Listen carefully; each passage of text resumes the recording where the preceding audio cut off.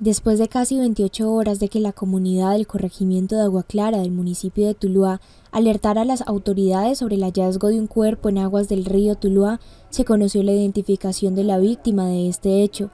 Se trataría de Marisela Quiñones Cuero, de 17 años de edad, quien era natural de Bocas de Satinga, departamento de Nariño. La joven, quien vivía desde hace años con su familia en el mismo corregimiento donde fue hallada, falleció por inmersión. Las causas del ahogamiento son materia de investigación por parte de las autoridades.